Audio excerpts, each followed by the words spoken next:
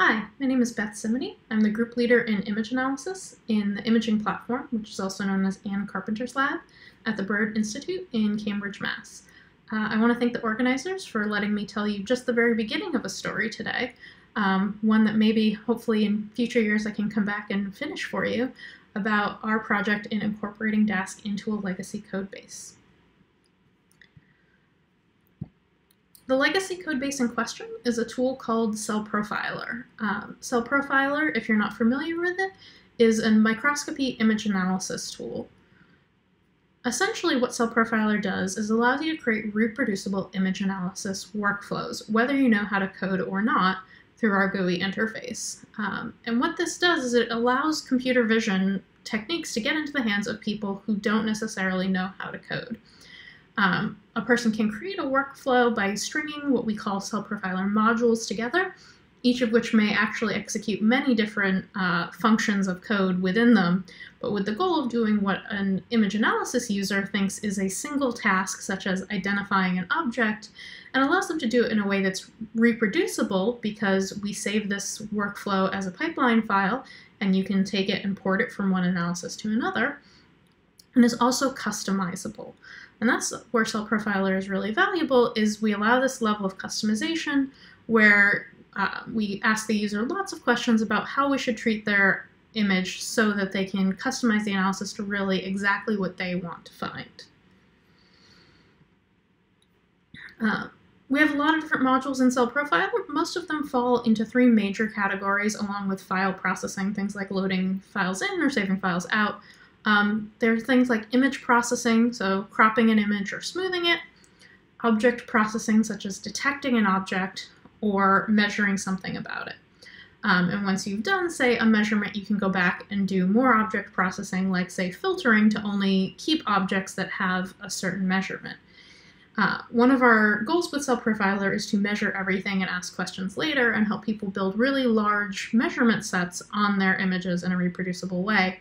Um, you can see here just from one module, the measure object size and trait module, will actually produce quite a large number of measurements.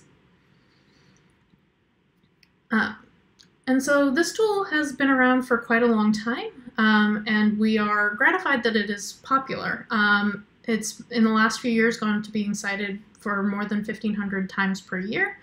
Um, a tremendous amount of that has to do with the amazing people who have written it. Um, Anne Carpenter and Ray Jones wrote the initial version of Cell Profiler. Um, for the last few years, Allen Goodman has been our lead engineer, and all of these people have been really critical in making this what we what is considered a, a popular and flexible and usable tool. To give you a little bit more of the history, um, Cell Profiler was written in MATLAB in 2004. It was then rewritten in Python 2 and released as Cell Profiler 2.0 in 2009. It was then rewritten again into Python 3 and released last year as Cell Profiler 4.0. We did have a 3.0, it had to do with adding 3D functionality. And there are 92 separate modules across all categories, not counting user written plugins that people can bring themselves. With Cell Profiler, we're trying to serve also a very mixed audience. About 90% of the people who are using it are using the GUI that I've shown you in the last few slides. They're not necessarily people who are very computationally comfortable, and they probably only have a few dozen to a few hundred images. On the other end of the scale, we have people who really like Cell Profiler's ability to run reproducibly, and so they are running this on HPCs on large scale screens. This happens at things like pharmaceutical companies. Um, so we have to support lots of different running modes. We support our GUI, which automatically will spawn multiple workers so that if somebody has, say, 50 images, they will run uh, in eight separate workers on their machine automatically without the user having to think about it.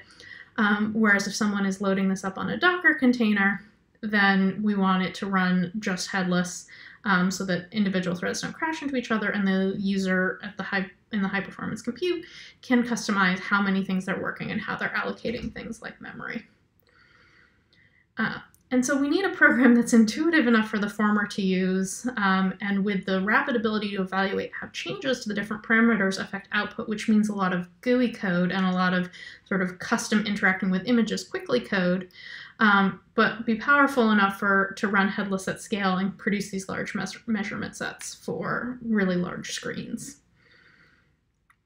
All of this means that Cell Profiler is a really complicated code base. The many authors over the years, the multiple languages it's been in, and the many different user bases that we serve.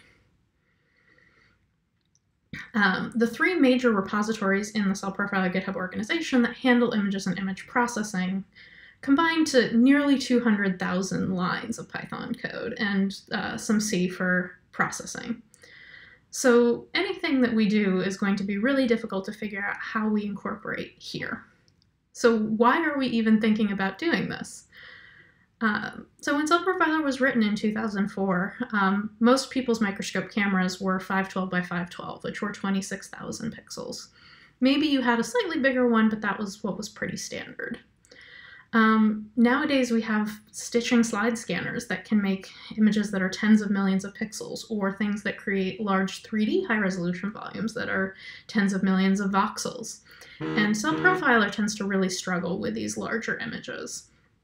Now, of course, there are tools, things like QuPath, that do work well for some of these larger things, but we would like to be able to use Cell Profiler for screening for these large images also.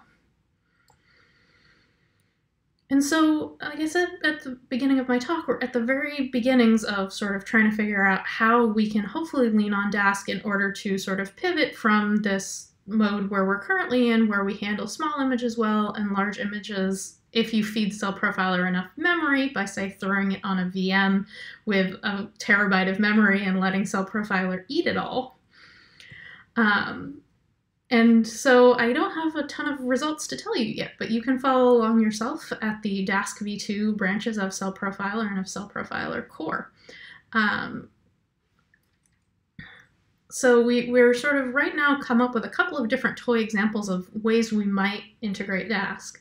Um, one of them is in taking our measure texture module and in something where we want to make a measurement in many different objects uh, taking advantage of Dask Delayed and Dask Compute to sort of scatter that computation um, really easily, and it functions as a drop-in replacement of our existing functionality by just sort of adding in these two Dask options, and we get a 3% performance bump, which is not anything to sneeze about for something that sort of can be dropped in in just a few minutes. Um, we've also tried saying, all right, since Dask has an array format um, that handles a lot of the same things that our current NumPy arrays uh, do, can we try to put Dask arrays into our image type? And so far, it actually broke less than I expected. Um, I'm working to fix some of these test failures. Um, but you can see that there's still a lot of test failures, and we, are going to have to think at a really high level about um, how much gain it's going to be to take to fix all of these and how that's going to affect our performance as a whole. And so, what we're still struggling with, and what I'm hoping I will be struggling with less by the end of this meeting, is to figure out what level or levels of integration are going to give us the most bang for our buck with Dask. Um, is it the sorts of small drop in things where a, a, few lines of carefully selected code use Dask to speed up individual operations? Is it by moving to Dask arrays, which would help us with working with the really big images that we ultimately want to work towards? Um, where where are we going to get the most value? And in figuring that out, we're trying to balance how long these changes take to implement. Again, in a sort of 200,000 line of code Jenga block or Jenga tower, we don't want to knock any blocks that will knock the whole tower down. Um, the chance that it will lead to significant performance increases, and again, the chances that that whole tower is going to fall. Um, and so we're still really figuring out what are the best ways in code that already exists to transform with Dask. We know that there are really good resources already that if we were building Dask today, we would build from scratch with Dask in mind. Um, given that there are certain parts of our architecture that are fixed or semi-fixed, um, we're probably not going to write the same exact tool by adding sub, uh, Dask to Cell Profiler in 2021 that we would have in a brand new tool, but we're excited to try and find out. So to be continued. Um, thank you to Anne for her original writing of Cell Profiler, her leadership of the lab, uh, the members of the engineering team, Allen Goodman, Alex Lucas, uh, David Stirling, uh, the people who funded this work and you for your attention. Thanks very much.